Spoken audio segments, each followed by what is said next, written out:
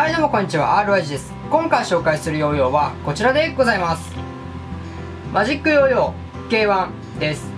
はい今回はこの K1 について紹介していきたいと思います。ボディ形状はちょっと見にくいんで別のにしますね。こっちの方が見やすいよね。えボディ形状はステップラウンド。レスポンスはパッドタイプ。このレスポンスはマジックヨーヨーレスポンスパッドっていう、え、レスポンスらしいです。そしてえベアリングサイズは C サイズ。で標準搭載で、え曲面加工の、えベアリングが入ってます。そしてその他機能としてここにハブスタックがついていて回ります、はい、この K1、えー、マジックヨーヨーが出しているヨーヨーなんですがこの僕のイメージ勝手なイメージというか、まあ、マジックヨーヨーが超安価なメタルヨーヨーを出してるっていうのでこうメタルっていうイメージがすごい強いんですけどこういうのも出してるんですね。中国系のプラスチックっていうイメージだとなんかちょっと精度があまりなかったりこうブレるんじゃないかなっていうイメージがあるんですけど意外とこうハブスタックを持って回した時点では特にこう気になるブレ、まあ、こうハブスタックの精度はいいかって言ったらちょっと普通な方なんですけどあのまあでも許容範囲のブレ使える許容範囲のブレなんじゃないかなと思ったりはしますね。で、えー、と全体的にプラスチックでできていてえっと、しかもこのリムの部分ですね。このリムの部分もプラスチックで、えっとま、ここのリムの部分だけなんですけど厚めにできているので外側に重心が寄っててね、まあ、しっかり回ってくれるプラスチックのようなんじゃないかなと思います。そしてハブスタックがあるセーデといえばセーデなんですけど、まあ、ハブスタックがあるので重量もねあの他のプラスチック用と比べると少し重量は増してるんじゃないかなと思います。あこれってブラスト加工なのかな？えっと、今気づいたんですけどこのステップラウンドの部分のこの外側の部分って微妙にサラサラしてるんですよ。これブラスト加工でもブラスト加工っぽい加工はされてますね確かに。でもそこまでこうファクトリーのブラスト加工とかと比べるとキメが細かいんでねあまりこうサラサラするような感覚ではないですね。なんだろうデザインなのかなこういう。見えにくいよねカメラだと。この内側とこの外側ですね。見えにくいよね。これ微妙にブラストが加工されてるんじゃないかなって思います。こう見た感じでは特に言うことはないんですよ。まあ振ってみてっていう感想が一番強いですかね。それではこのマジックヨーの K1、えー、振っていくことにしましょう。はいそれでは回してみましょう。あ割と優秀じゃない？かこれは。はい。回した感じはこんな感じです。えっとブレはもちろんありますけどまあプラスチック特有のブレっていう感じのブレです。特にこう気になるブレではないような気もします。でしっかり回ってくれてます。はい。そしてバインド式です。あバイなんかあそうか。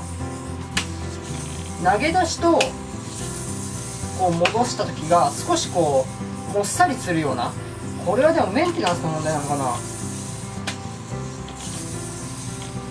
ちょっと先端でスリープしたりなんかこの辺でもたもたするような戻ってくる瞬間にもたもたするような感覚とか投げ出しの瞬間に微妙にこううーんなんだろうなこれは。投げ出しの瞬間微妙にスカるような感覚を受けなくはないですね。なのでまあこう投げ出しの瞬間スカるのと戻ってくる時に少しスリープしたりなんかこうもっさりするような感覚を受けるっていうのは人によってはあるかもしれません。でハブスタックを持って回すとおなかなかいいじゃん。こんな感じですね。えっと先ほど言ったようにハブスタック自体のブレはねなくて、えー、まあまあしっかり回ってくれるものですね。もちろんあちょっと無理か。持ち方が悪いなもちろん疑似トップオンなんかもできます。飛んでった。まあ普通のプラスチックオイルとして使う分にはまあ普通に使える機種だと思います。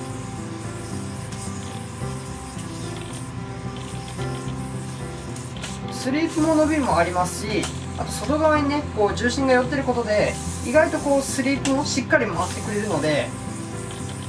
これは普通に使えますね。でちょっと思ったのが、まあ、経年劣化こうレスポンスがね緩いというか戻りの悪い感じはします。多分経年劣化っていう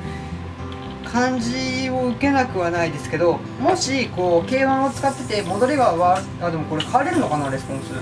戻りがね弱いと感じるようでしたらまあレスポンスを調節してて、えー、レスポンスを調節してまあえっと柔らかいのあるのかな、まあ、柔らかいレスポンスとかえっと厚さを厚くしたりねちょっと工夫してみてください。僕ちょっとこのレスポンスね戻りの悪いような感覚は受けます。あで先ほど気になったブラスタ加工なんですがあうん？まあまあ普通のヨーヨーでできなくはないからできなくはないんですけどあまりこうブラスト加工の恩恵はあまり受けられないのかなと。思ったりはしますね。そうですね。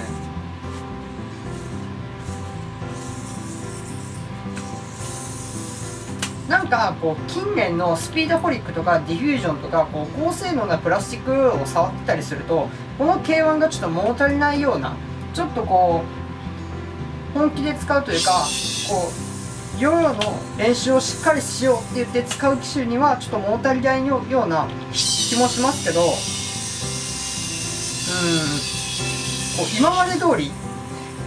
この超高性能なプラスチック用が出なかったら出なかったらって言ったら変なんですけどあの今まで通りの、えっと、従来通りいくと多分まあ普通に使えるようだったんじゃないかなと。で、えこの今このねこういいヨーヨーがいっぱい出てる中でこの K1 を買いましょうって勧めれるかって言ったらじゃあスピードホリック買ってくださいとかディフュージョン買ってくださいってなります。そうですね。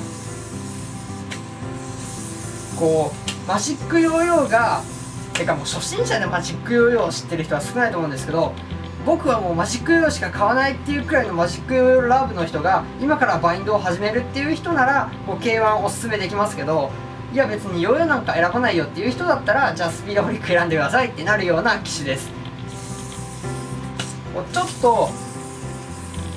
スカるしスカるのはどうなんだろう。と投げ出しスカりますし戻りも微妙に悪いですしまあ、スリップの伸びはありますけど最近のと比べてしまうとやっぱちょっと物足りないかなと思ったりする部分もありますね。さらにハブスタックがある分こう遊べることはできるんですけど本気で使おうとした時にハブスタックの回転が気になるっていう人も中にはいると思います。この近年のねこの強いプラスチックがゴロゴロ出てる時代にこのちょっとちょっと前のこのプラスチックヨーヨーはちょっと力不足かなと。今のこうヨーヨーと張り合ったり今のヨーヨーが使えるっていう選択肢のある中でこのねマジックヨーの K1 を選ぶっていうのはちょっとねどうかなと。マジックヨーさんには悪いですけどこの K1 はあまりおすすめできないヨーヨーなんじゃないかなと思ったりはします。はい以上でマジックヨーヨー K1 の紹介でした。